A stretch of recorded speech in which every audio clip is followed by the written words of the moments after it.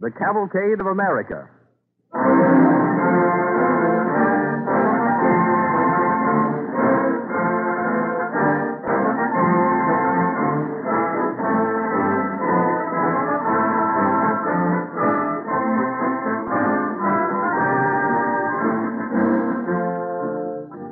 Many listeners have written letters of approval on the Cavalcade of America presented by DuPont. FPK of Chicago writes, such splendid work in behalf of American education is most commendable. We look forward to more programs of such sterling character. End of quotation. And from Baltimore comes this word from Mr. H.M. Last night, I had the pleasure of listening to the Cavalcade of America. This program reaches a new high in dignified, interesting entertainment. End of quotation. Perhaps the most adequate way of expressing DuPont's appreciation for such letters is to say that we are sincerely trying to produce a high type of radio entertainment. We should appreciate your comments because that's the only way we have of knowing whether we are pleasing you and your family. Address your letter or postcard to DuPont, Wilmington, Delaware, or to your radio station.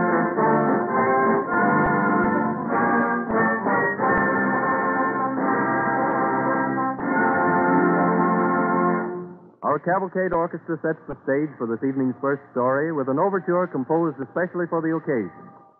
It makes use of some of the original musical themes which our conductor, Harold Levy, has composed for the Cavalcade of America.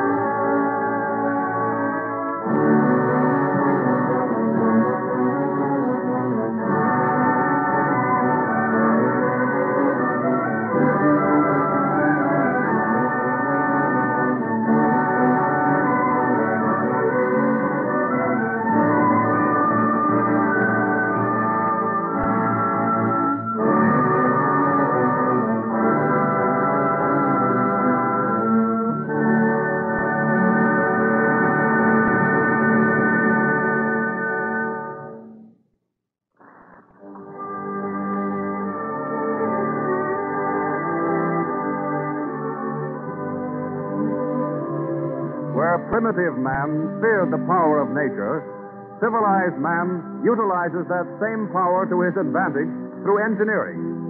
In our own country, more than any other, nature has been harnessed to improve our living conditions. And this evening, we pay tribute to our American engineers. It is the year 1810 as our story opens. The scene is a farm in western New York.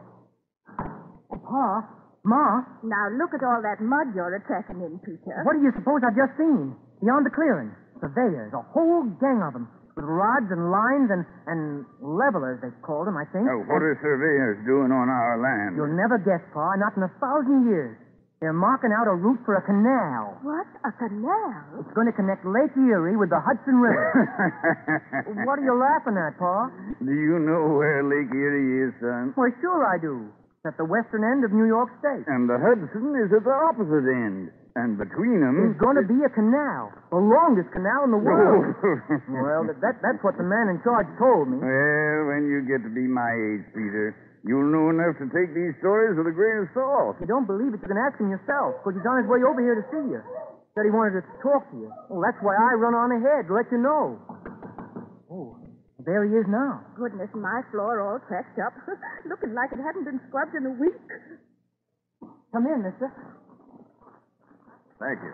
Oh, this is the gentleman I was talking to, Father. Yeah. How to do, sir? I'm Charles Broadhead. Well, glad to meet you. I'm in charge of a survey. Peter told us.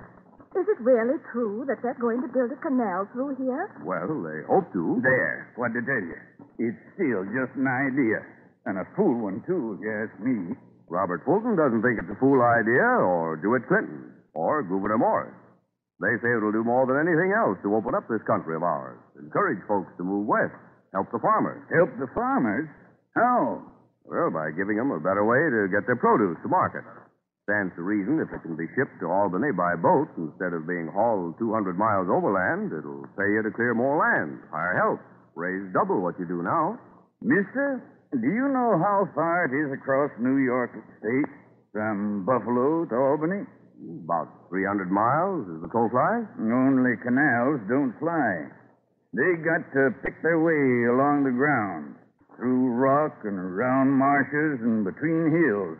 Near 375 miles it'll be. I wouldn't be surprised. That's a long ways to dig, mister. Have they figured who's going to pay for it? It'll cost a tidy little sum, this ditch. And if they think we're going to pay taxes on it, I'd be willing to be taxed to have a canal here. Oh, think what it would mean seeing boats go by regular, with folks on 'em, near enough to wave to. Here, where we don't see nobody for weeks and weeks on end. now don't get your hopes up, Ma. The canal ain't started yet. It will be, though, someday. Which brings me to my real purpose in coming here to see you. I'm wondering if you can put me and my men up while we're working around here. I'd be mighty glad to anything that'll be of help. Thank you very much. Now I must be getting back. Oh, Mr. Broadhead, just a minute. Yes? Could I, uh, you think, would it, What is it, boy? could you give me a job? Doing what? Well, anything, sir. I wouldn't care. Just so long as it was something. I've got some college boys working for me, holding markers for the experience they get. They don't get paid anything. Oh, I wouldn't expect to be paid. I, I just want to help. Well, I'll be glad to take you on then. Thank you, sir. Uh, holding markers at nothing a week. Well, it's something just the same. A part in helping to build the canal.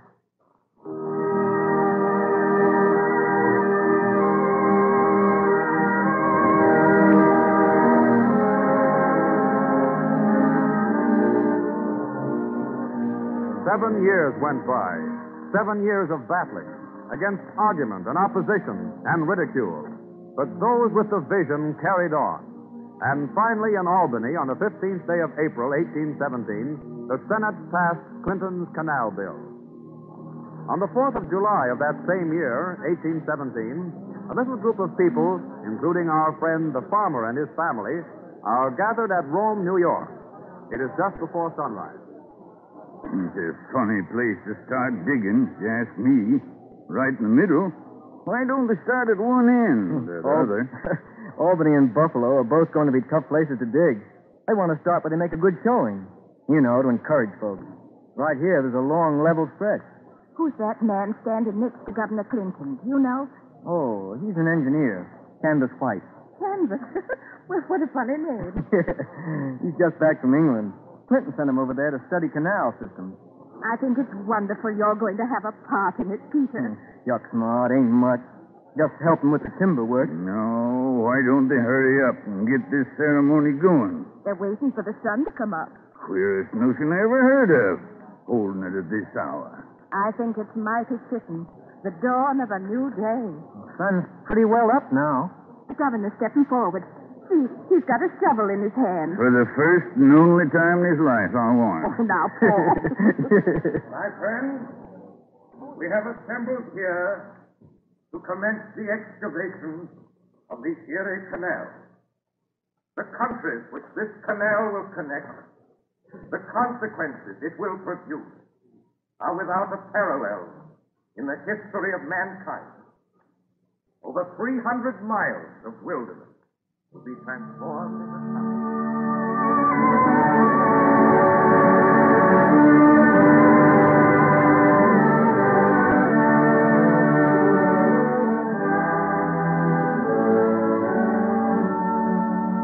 Eight years went by. Eight years of heartbreaking, backbreaking work, of problems and obstacles. Woods to be cleared, rock to be drilled through, swamps where the muck ran back as fast as it was shoveled out, where crew after crew of men were laid low with chills and fever. A year sometimes with only a mile to show, but still they kept on. Mile by mile, month by month, year by year, till finally one day in the autumn of 1825, You're sure we'll be able to hear the signals? Why, we can't miss it, Ma. They've got cannon all along the line, 10 to 15 miles apart. When they let the water in, they'll fire a first one at Buffalo, a big 32 pounder. And the next one will pick up the sound and carry it on. Till And... at last the signal reaches New York? Yes. Yeah, a lot of trouble, if you ask me, just to make some noise. I notice you're hanging round just as eager as the rest of us, waiting to hear it. Well, of course I am. That signal's going to mean dollar a bushel wheat to me. It's going to mean the beginning of a whole new life for me. A chance to see folks and things happening. Take a trip myself, maybe. When will the water reach here, do you suppose, Peter? Erie water, I mean. Very soon now. The water of Lake Erie flowing to the Hudson. Think of it. I can't, Ma. To me, it's not water, it's, it's sweat. The sweat of the poor fellows who have dug this canal, who've pulled stumps and pushed barrows and wrestled with rocks, who've shook with chills and fever. It's sweat and blood. The lifeblood of the men who planned it and carried it through. Hark. That's it. There's it again. It's finished.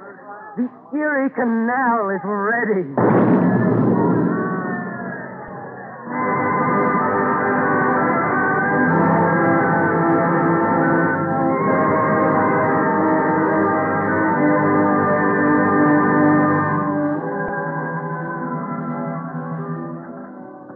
Over a hundred years have passed since the Erie Canal was built. Great as it was in its day, it seems small in comparison with our modern engineering triumphs. Yet it was this early undertaking, with its problems and its difficulties, that laid the foundation for constructive engineering in America.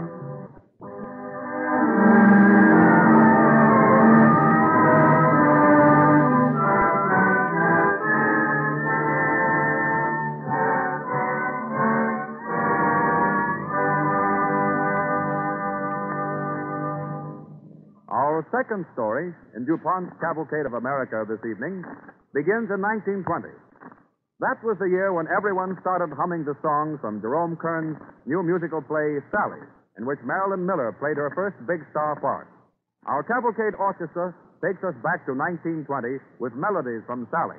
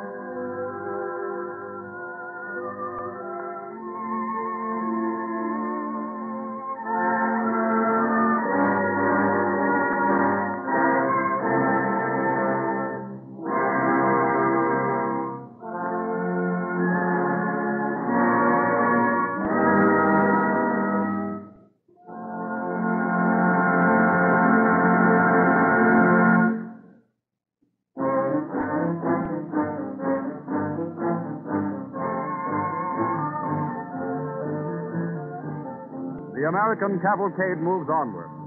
It is Columbus Day, 1920, a hundred years after the building of the Erie Canal. Holiday traffic jams the highways. On the Jersey shore of the Hudson, automobiles by the hundreds and thousands are waiting in line for a chance to board its ferries that shuttle back and forth to New York. In one of them sits a newspaper reporter with his wife and young son. Oh, dear. This is the worst of going anywhere on a holiday. There's still about a mile of cars ahead of us, and it gets worse every year, too. And will for a few more years. And there'll be no more of this waiting in line for ferries. You mean we'll fly across the river? No, dear. He means we'll stay at home. Wrong, both of you.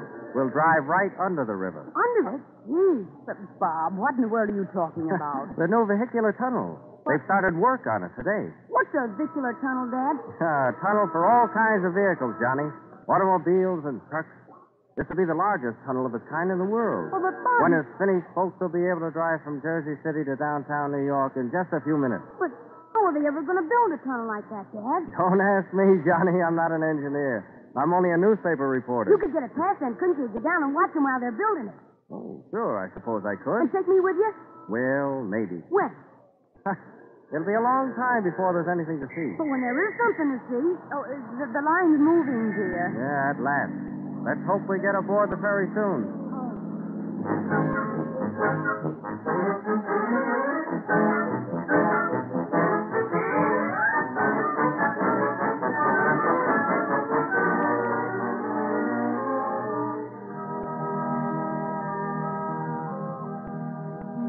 Two years have passed. It is October 1922. Work on the Great Hudson Tunnel that is to connect New York with New Jersey is well underway. And Johnny is granted his wish to visit the vast undertaking.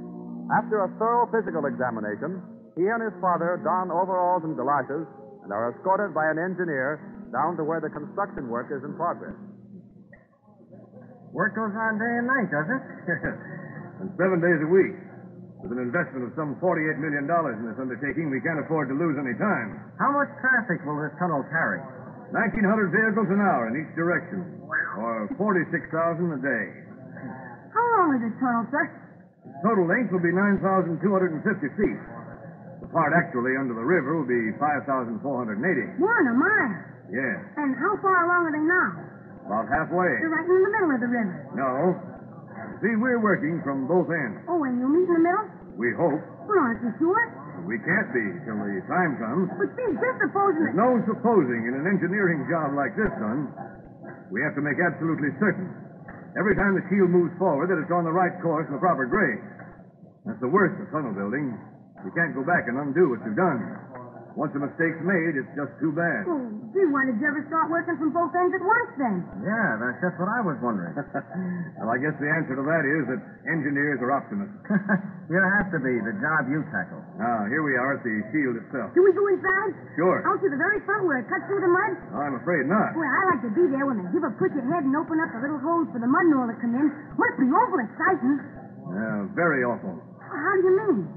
After each push, the men wait, not knowing what may happen. It's a moment full of terrible possibilities. I don't see what you mean. The air pressure is reduced too much, the whole riverbed may start caving in on them. If there's too much pressure, there's the danger of a blowout.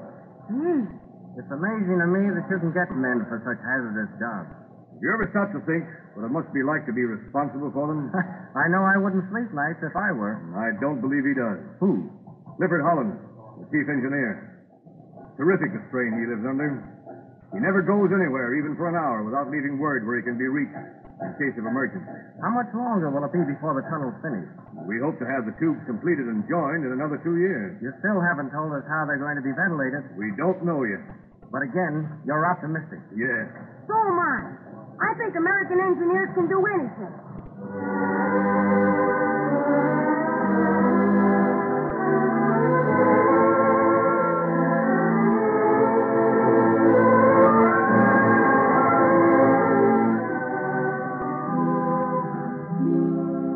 By foot, thrust by thrust, the great steel shields bored and burrowed their way through the darkness and dangers of the under-river world to make a passageway for human beings.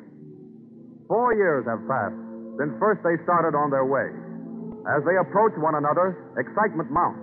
Closer, closer, until only a few feet of riverbed separates them. Engineers and sandhogs alike wait breathlessly. They're about to fire the breaking through shot. You telling me? What you think I got eyes and ears? You got any money on it? I ain't, but why not? You've been saying all along they'd meet within a couple of inches of each other. I know, but I ain't, but why not? I'm afraid. Why? On account of Mr. Holland dying. Just three days before the job's done. A bad sign. I don't look on it that way, Joe. No?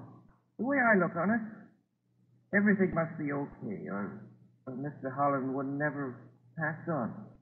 You think he knew he was leaving things? Yes? Sure he did. I wish they'd hurry up and get it over with. There she goes. Listen, that's him. What I tell you? Here comes the foreman, the rest. I'm going to ask. You don't have to. Can't you see the way they grin? Uh-huh. I beg your pardon, sir, but could you tell us the two tubes met within a fraction of an inch?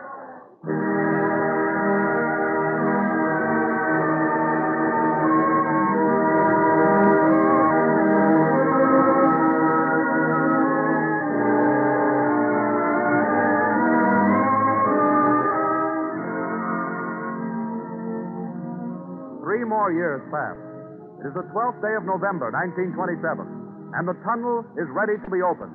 A great shining white highway, ingeniously lighted, miraculously ventilated, connecting New York and New Jersey beneath the waters of the mighty Hudson.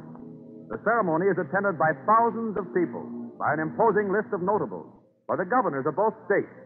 Governor Moore of New Jersey is speaking.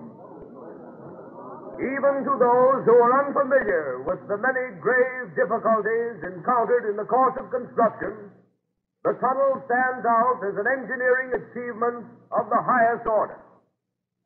Much could be said of the eminent engineer in whose memory and honor the tunnel is named, his successor, who also died while the task was still underway.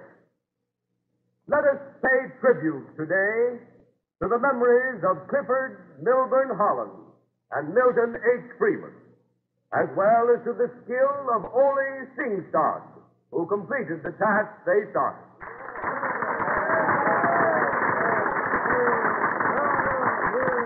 Now, President Calvin Coolidge, aboard the Mayflower, will press a key, the same key which President Woodrow Wilson used in opening the Panama Canal. Then the flags at each end of the tunnel will part, and the Holland Tunnel will be open for traffic.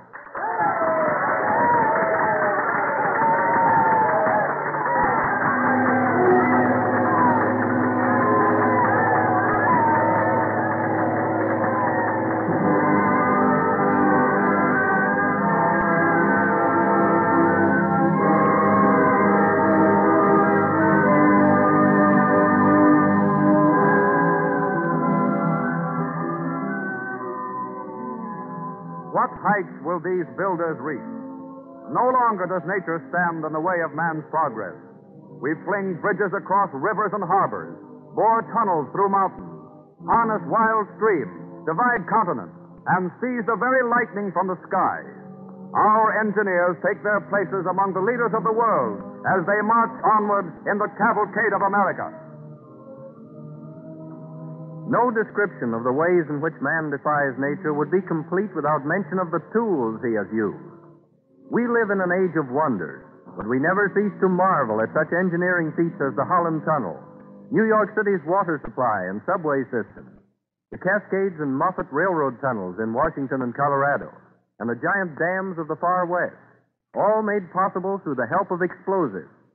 Think how much we owe to the chemists who discovered this useful energy and taught us how to put it to work. I wonder how many of our listeners realize that the discovery of dynamite is relatively recent.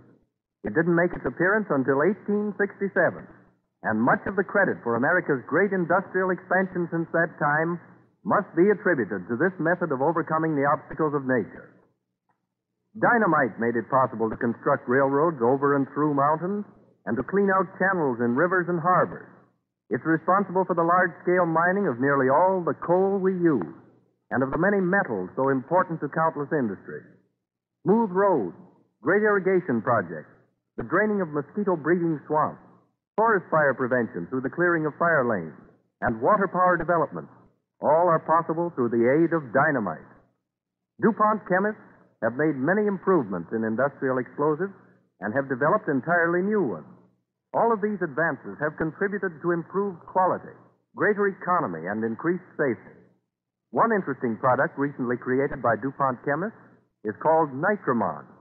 This new blasting agent cannot be exploded by influences that will readily set off dynamite.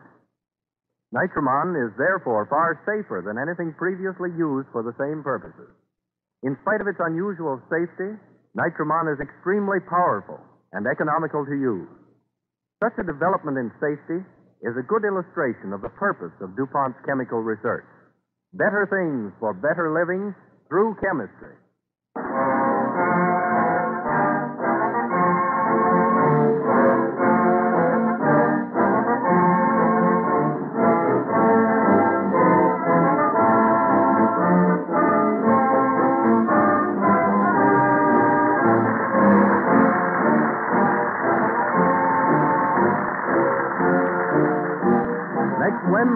Same time, DuPont will again present the Cavalcade of America. This is the Columbia Broadcasting System.